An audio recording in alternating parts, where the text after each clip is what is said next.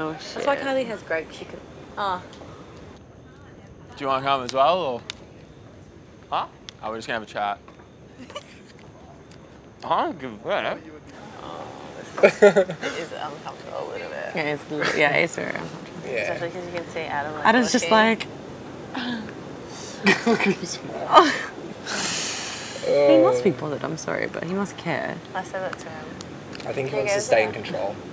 Is he trying to just make out that he doesn't care though? Because he clearly does. You've been with her for four I weeks. think he does, and that's like his personality to keep control of his own emotions. Yeah. How's things with him, Cynthia? Yeah, good. You guys are so cute. Yeah, I was literally, I living can't even do it.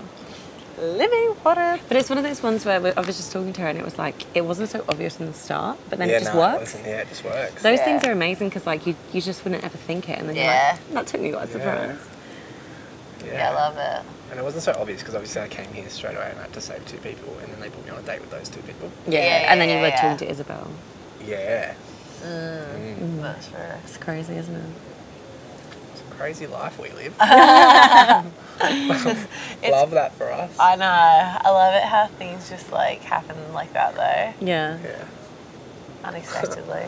I know. The unexpected ones are the greatest, The I best ones, think. exactly. Yeah.